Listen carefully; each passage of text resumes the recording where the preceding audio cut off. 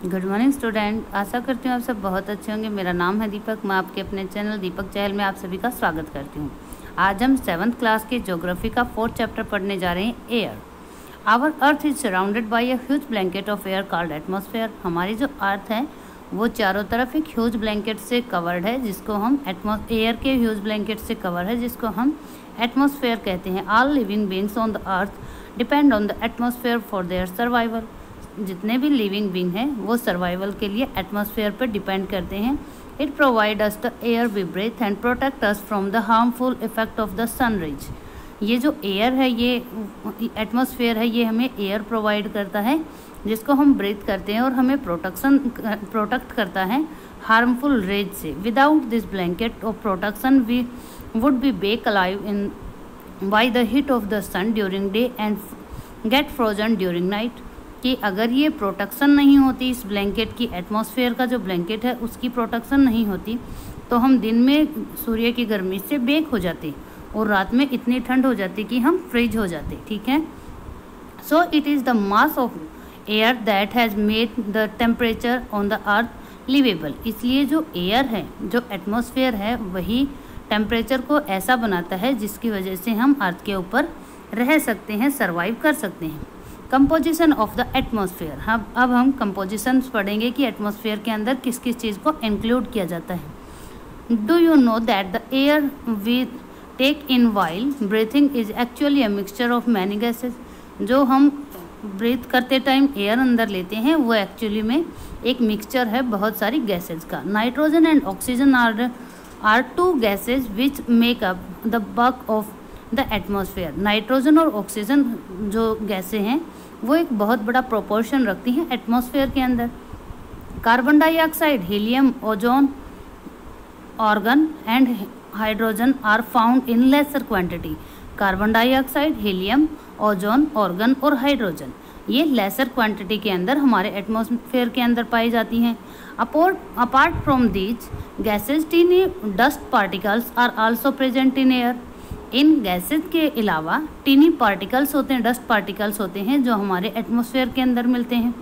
The pie chart given you the percentage of different constituents of air इसके अंदर जो पाई diagram दिखा रखा है, उसमें बताया गया है कि कितना प्रोपोर्शन किस गैस का है एयर के अंदर। Nitrogen is the most plentiful gases gas in the air air के अंदर सबसे ज़्यादा कौन सी गैस मिलती है बच्चों, नाइट्रोजन मिलती है, सबसे ज़्यादा अबेंडेंट इसी की है। वेन वी इनहेल जब हम इनहेल करते हैं, सांस को अंदर लेते हैं we take some amount of nitrogen into our lungs and inhale it जब हम तो क्या करते हैं नाइट्रोजन की कुछ मात्रा हम हमारे लंग्स तक ले जाते हैं, जब इनहेल्स कर, और जब एक्सहेल करते हैं तो उसको हम रिलीज़ कर देते हैं। But plants need nitrogen for their survival हमें नाइट्रोजन की कोई बेसिक आवश्यकता नहीं है, लेकिन जो प्लांट्स हैं, उनके लिए नाइट्रोजन बहुत इम्पोर्टेंट है। They can cannot take they cannot take nitrogen directly from the air और वो डायरेक्टली कंजप्ट नहीं कर सकते एयर को नाइट्रोजन को एयर में से। Bacteria that live in the soil and root of some plants take nitrogen nitrogen from the air and change it into, so that plant can use it. Bacteria जो roots में होते हैं, वो क्या करते हैं? इस नाइट्रोजन को कंजप्ट करते हैं और इसका ट्रांसफॉर्मेटिव रूप एक जो है, वो कहाँ तक डिलीवर करते हैं? प्लांट तक डिलीवर करते हैं, ठीक है? इसीलिए हम बोलते हैं ना, जहाँ पर बैक्टीरिया होते हैं, वहाँ पर ज़्यादा अच्छे पेड़ पौधे लगते लगते हैं। Oxygen is the second mode most plentiful gas in the air. Oxygen जो है वो सेकेंड प्लेंटीफुल गैस है। एयर के अंदर human and animal take oxygen from the air as they breathe.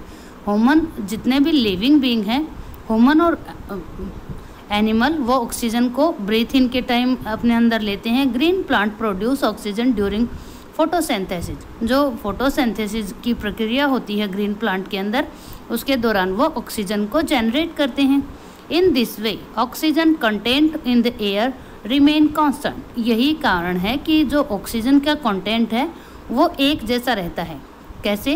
क्योंकि जो ह्यूमन बींग होते हैं या फिर एनिमल होते हैं, वो क्या करते हैं? जब एक्सेल करते हैं तो कार्बन डाइऑक्साइड निकालते हैं और प्लांट उसको कंजप्ट कर लेते हैं और ऑक्सीजन निकालते हैं। ठीक है? If we cut tree then the balance get disturb अगर हम सारे के सारे ट्रीज को काट देंगे तो क्या हो जाएगा? ये बैलेंस डिस्टर्ब हो जाएगा। Carbon dioxide is another important gas carbon dioxide दूसरी इम्पोर्टेंट गैस है। Green plants use carbon dioxide to make their food and release oxygen वो क्या करते हैं? कार्बन डाइऑक्साइड को यूज़ करते हैं उनका खाना बनाने के लिए और रिलीज़ किसको करते हैं? ऑक्सीजन को करते हैं। Human and animal release carbon dioxide और ह्यूमन और एनिमल जो होते हैं वो रिलीज़ किसको करते हैं बच्चों? कार्बन डाइऑक्साइड को करते हैं। The amount of carbon dioxide release by the human और animal seem to be equal to the amount use by the plant which make a perfect balance जो अमाउंट कार्बन डाइऑक्साइड का human being और animal release करते हैं, वो सारा का सारा प्लांट के द्वारा यूज़ कर लिया जाता है। यही एक परफेक्ट बैलेंस है। However the balance is upset by the burning of fuels such as the coal and oil जो बर्निंग फ्यूल है, उससे ये बैलेंस बिगड़ रहा है। किस तरह का फ्यूल बर्न करने से? जैसे कोयल और ऑयल होता है, ठीक है? क्यों? क्योंकि ये सारे के सारे कार्बन के अप्रूव होते हैं और इनके बर्न करने से कार्बन डाइऑक्साइड रिलीज़ होती है, ठीक है? They added billion of tons in carbon dioxide into the atmosphere each year ये जो फ्यूल हम बर्न कर रहे हैं, इससे billion of ton carbon dioxide release कर रहे हैं एटमॉस्फेयर के अंदर। एज ए रिज़ल्ट इसका रिज़ल्ट क्या होता है? The increasing volume of carbon dioxide is affecting the earth's weather and climate जो ये इंक्रीज हो रही है कार्बन डाइऑक्साइड इसकी वजह से जो वेदर है और क्लाइमेट है, पृथ्वी का, वो दोनों चीज़ें क्या हो रही हैं? डिस्टर्ब हो रही हैं। Our atmosphere is divided into five layer starting from the earth surface हमारा जो एटमोसफेयर है, उसको फाइव लेयर्स में बांटा जाता है। जब हम अर्थ के सरफेस से काउंट करना स्टार्ट करते हैं। ये कौन से कौन से हैं बच्चों? These are troposphere stratosphere mesosphere, thermosphere and exosphere. ठीक है? अभी हम इनके बारे में डिटेल में पढ़ेंगे। ट्रोपोस्फेयर, जो फ़र्स्ट वन है, वो ट्रोपोस्फेयर है बच्चों। यहाँ पर आपको जो अर्थ सरफेस के बिल्कुल पास है, उसको हम ट्रोपोस्फेयर कहते हैं। ठीक है? तो इसमें हम देखते हैं बच्चों।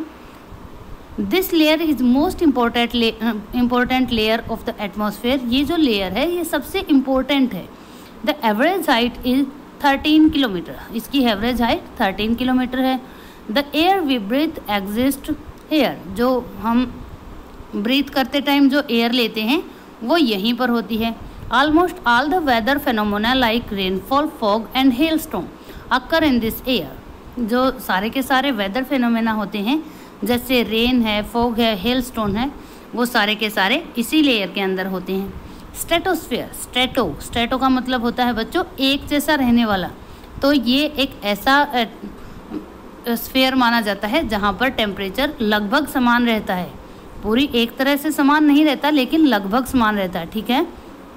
अबो द ट्रोपोस्फेयर ट्रोपोस्फेयर के ऊपर लेज द स्ट्रेटोस्फेयर स्ट्रेटोस्फेयर पाई जाती है। It extend up to the height of 15 kilometre ये कहाँ तक होती है? 15 किलोमीटर की हाइट तक होती है। This layer is almost free from cloud and associated weather phenomena इसके अंदर क्लाउड नहीं पाए जाते और इसी तरह से वेदर फेनोमेना जो हैं, वो नहीं पाए जाते। Making condition most ideal for flying flying aeroplane इसलिए इसकी कंडीशन जो है, वो आइडियल कंडीशन होती है एरो एरोप्लेन को फ्लाई करने के लिए। One important feature of stratosphere is that it contains a layer of ozone gas एक और इसकी इम्पोर्टेंट फीचर क्या है? इसके अंदर हमें ओजोन गैस की एक लेयर मिलती है। We have just learn how it protect us from the harmful effect of the sun rays हमने अभी पढ़ा कि जो हार्मफुल रेज होती हैं सन रेज वो हमें किस तरह से प्रोटेक्ट करती है? वो लेयर इसी के अंदर होती है बच्चों स्टेटोस्फेयर के अंदर। इसके ऊपर हम देखते हैं mesosphere this is the third layer of the atmosphere it lies below above the stratosphere ये थर्ड लेयर होती है और स्टेटोस्फेयर के ऊपर होती है. एक extend up to up to the height of 18 kilometre इसकी ऊंचाई कहाँ तक होती है? 18 किलोमीटर तक होती है. Meteoroid burn up in the in this layer on entering from the space जब स्पेस से हमारे अर्थ के अंदर मेट्रॉयड एंट्री करते हैं तो वो यहाँ पर आकर बर्न हो जाते हैं। देखो, आपको यहाँ पर दिखाई भी दे रहा होगा बच्चों, ये मेटेरॉयड दिखाए गए हैं जो बर्न हो रहे हैं। ये जो स्ट्रेटोस्फेयर है, ये आइडियल होती है एरोप्लेन की फ़्लाइट के लिए, ठीक है? और जो सबसे नीचे वाली ट्रोपोस्फेयर होती है, उसके अंदर वेदर फेनोमेना सारे के सारे एग्जिस्ट करते हैं। उसके बाद हम फोर्थ लेयर के बारे में पढ़ते हैं बच्चों। Thermosphere in thermosphere temperature rise very rapidly with increasing height thermosphere के अंदर क्या होता है? टेम्परेचर बहुत गति से बढ़ता है, जैसे जैसे हाइट बढ़ती है। Ionosphere is a part of this layer. Ionosphere इस, एक, इस स्फेयर का एक पार्ट है। It extend between 18 kilometre to 400 kilometre. ये कहाँ से कहाँ तक? 18 किलोमीटर से 400 किलोमीटर तक फैला हुआ है। द ले, this layer help the radio transmission in fact जो ये लेयर होती है कौन सी? आयनोस्फेयर वो हेल्प करती है रेडियो ट्रांसमिशन में. In fact radio wave transmitted from the earth are reflected back to the earth by this layer जो यहाँ से पृथ्वी से जो अर्थ से रेडियो वेव भेजी जाती हैं वो इस आ, आ, जो आयरन आइनोस्फेयर है वहाँ से रिफ्लेक्ट कर दी जाती हैं। इसीलिए जो हम हमें रेडियो की सारी की सारी चीज़ें सुनाई देती हैं बच्चों, ठीक है? उसके बाद जो है वो exosphere exosphere the uppermost layer of atmosphere is known as exosphere जो सबसे ऊपर की लेयर होती है, उसको हम एक्सोस्फेयर के नाम से जानते हैं। This layer has very thin layer इस लेयर के अंदर बहुत पतली लेयर होती है मतलब स्कैटर स्कैटर होती है, ठीक है? Light gases like helium and hydrogen float into the space from here यहाँ से आगे हम, अगर हम देखते हैं, जो लाइट गैसेज होती हैं, जैसे हीलियम और हाइड्रोजन वो फ्लोट करती रहती हैं। अब हम पढ़ेंगे बच्चों वेदर एंड क्लाइमेट वेदर और क्लाइमेट के बारे में। It is going to rain today कि आज बरसात होने वाली है। विल इट बी ब्राइट और सनी डे और, या फिर, आज ब्राइट और सनी डे है। How many time have we hear this from anxious cricket fans speculated the fate of the day day one day match one day match के दौरान हम कई बार देखते हैं कि आज बरसात हो, होगी या फिर आज ब्राइट और सनी डे रहेगा। इस तरह के स्पेक्टिकल्स लगाए जाते हैं क्रिकेट फैंस के द्वारा। If we imagine our body to be a radio अगर हम अपनी बॉडी को एक रेडियो की तरह इमेज करें and the mic mind its speaker और माइंड को इसके स्पीकर की तरह इमेज करें. Weather is something that fiddle with its control knob इस तो जो वेदर है, वो एक नोब की तरह काम करेगा. जो रेडियो के अंदर हम नोब देखते हैं बच्चों, जो ऊपर नीचे होती है, जो सुई होती है, ठीक है? Weather is this hour to hour day to day condition of atmosphere और जो वेदर होता है, उस, वो किसको बोला जाता है? आवर टू आवर और डे टू डे जो कंडीशन एटमोसफेयर की चेंज होती रहती है, उसी को वेदर बोला जाता है। अ हॉट और humid weather may make one irritable कभी अगर बहुत ज़्यादा गर्म या ह्यूमिड वेदर होगा तो कोई भी व्यक्ति इरिटेट हो सकता है। A pleasant breezy weather may make one cheerful and even plan for an outing अगर चेयर अगर प्लीजेंट और ब्रिजी वेदर है तो कोई भी पर्सन चेयरफुल रहेगा। और कई कई बार आउटिंग की भी सोच सकता है कि बाहर चलते हैं मौसम बहुत अच्छा है। हम कहते नहीं हैं बच्चों कई बार ठीक है? Weather can change dramatically from day to day और वेदर जो है वो dramatically day to day change होता रहता है वेरी करता रहता है। However, the average weather condition of a place from a long period of time represents the climate of a place लेकिन बहुत लंबे समय से तक जो एक ही तरह का वेदर रहता है, उसको हम क्लाइमेट कहते हैं बच्चों। Now do you understand why we have daily weather forecasting अब आप लोगों को पता चला कि डेली वेदर फोरकास्टिंग क्यों होती है? क्लाइमेट नहीं होती। क्लाइमेट क्यों नहीं होती? क्योंकि क्लाइमेट एक बहुत बड़े स्पेल के लिए यूज़ किया जाता है। अगर हम एवरेज बात करें तो थर्टी फाइव ईयर का स्पेल हो जा, होता है जो वो क्लाइमेट कहलाता है, लेकिन डे टू डे जो वेरी करता है, वो वेदर कहलाता है बच्चों, ठीक है? अब हम देखते हैं टेम्परेचर के बारे में। The temperature we feel every day temperature वो चीज़ है जो हम हर रोज़ फील करते हैं। Is the temperature of the atmosphere वो कौन सा होता, वो क्या होता है बच्चों? एटमोसफियर का टेम्परेचर होता है। The degree of hotness and coldness of the air is known as temperature air का गर्म होना या ठंडा होना ही क्या कहलाता है? टेम्परेचर कहलाता है। The temperature of the atmosphere changes not only between day और night but from season to season summer are hotter than winter जो टेम्परेचर है, वो दिन और रात में ही नहीं बदलता। सीज़न टू सीज़न भी चेंज होता रहता है। जैसे समर जो हैं, वो होटर होती हैं विंटर से। An important factor that influence the distribution of temperature is insolation insolation क्या होता है बच्चों? इनकमिंग सोलर रेडिएशन ठीक है? Insolation is incoming solar energy intercept by the earth earth के द्वारा के ऊपर जो इनकमिंग सोलर रेडिएशंस आती हैं, उन्हीं को हम इंसोलेशन कहते हैं। The amount of insolation decrease from the equator toward the poles जैसे जैसे हम इक्वेटर से पोल की तरफ़ जाते हैं तो इंसोलेशन की डिक्रीज होती रहती है। इंसोलेशन का जो प्रोपोर्शन है, वो कम होता रहता है।